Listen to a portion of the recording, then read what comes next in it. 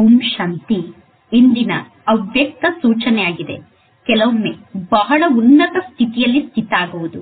ಇನ್ನು ಕೆಲವೊಮ್ಮೆ ಬಹಳ ಕನಿಷ್ಠ ಸ್ಥಿತಿಗೆ ಬಂದು ತಲುಪುವುದು. ಇಂತಹ ಚಕ್ರದಿಂದ ನಾವೀಗ ಸ್ವಯಂ ಅನ್ನು ಮುಕ್ತ ಮಾಡಿಕೊಳ್ಳಬೇಕು. ನಾವೀಗ ಸದಾ ಉನ್ನತ ಸ್ಥಿತಿಯಲ್ಲೇ ಸ್ಥಿತ ಆಗಬೇಕು ಅಂದರೆ ಸರ್ವಶ್ರೇಷ್ಠ ಸ್ಥಿತಿಯಲ್ಲೇ ಸ್ಥಿತ ಆಗಿರಬೇಕು ಎಂದು ಯಾವ ಕಾರಣಕ್ಕೂ ನಾವು ಕೆಳಗಡೆ ಬಂದು ಕನಿಷ್ಠ ಸ್ಥಿತಿಯಲ್ಲಿ ಸ್ಥಿತ ಆಗಬಾರದು ಅಂದರೆ ಎಂದು ಯಾವ ಕಾರಣಕ್ಕೂ ನಮ್ಮ ಸ್ಥಿತಿ ಕನಿಷ್ಠ ಆಗಬಾರದು. ಈಗ ಕೆಲವೊಮ್ಮೆ ಉನ್ನತ ಸ್ಥಿತಿಗೆ ಹೋಗಿ ತಲುಪುವ ಮತ್ತು ಕೆಲವೊಮ್ಮೆ ಕನಿಷ್ಠ ಸ್ಥಿತಿಗೆ ಬಂದು ತಲುಪುವ ಚಕ್ರದಿಂದ ನಾವು ಸ್ವಯಂ ಅನ್ನು ಮುಕ್ತ ಮಾಡಿಕೊಳ್ಳಬೇಕು. ಜಗತ್ತಿನ ಜನ ಜನನ ಮರಣದ ಚಕ್ರದಿಂದ ಮುಕ್ತ ಆಗಬೇಕು ಎಂದು ಬಯಸುತ್ತಾರೆ. ಆದರೆ ಯಾರು ಎಂದು ಜನನ ಮರಣದ ಚಕ್ರದಿಂದ ಮುಕ್ತ ಆಗಲು ಸಾಧ್ಯ ಇಲ್ಲ.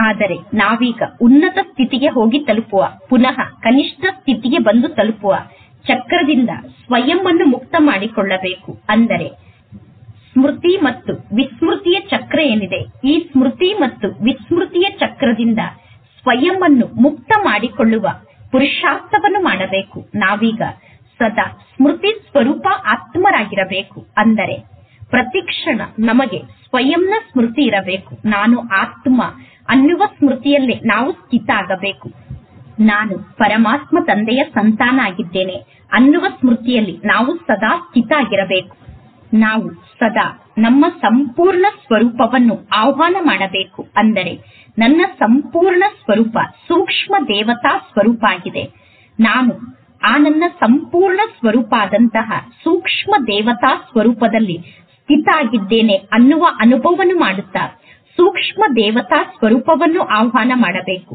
ಮತ್ತು ಅದರ ಜೊತೆ ಜೊತೆಗೆ ಪರಮಾತ್ಮ ತಂದೆಯ ಸಮಾನ ಆಗುವುದೇ ನನ್ನ ಸಂಪೂರ್ಣ ಸ್ವರೂಪ ಆಗಿದೆ ನಾನೀಗ ಪರಮಾತ್ಮ ತಂದೆಯ ಸಮಾನ, ಪರಿಪೂರ್ಣ ಆದಂತಹ ಆತ್ಮ ಆಗಿದ್ದೇನೆ ಅನ್ನುವ ಸ್ಥಿತಿಯಲ್ಲಿ ಸ್ಥಿತಾಗಿ ಆ ಸಂಪೂರ್ಣ ಸ್ವರೂಪವನ್ನು ನಾವು ಆಹ್ವಾನ ಮಾಡಬೇಕು. ಯಾವಾಗ? ನಾವು ನಮ್ಮ ಸಂಪೂರ್ಣ ಸೂಕ್ಷ್ಮ ದೇವತಾ ಸ್ವರೂಪವನ್ನು ಆಹ್ವಾನ ಮಾಡುತ್ತೇವೋ, ಆಗ ವ್ಯರ್ಥ ಮಾತುಗಳು ಸ್ವತಃ ನಮ್ಮಿಂದ ದೂರ ಆಗಿಬಿಡುತ್ತದೆ.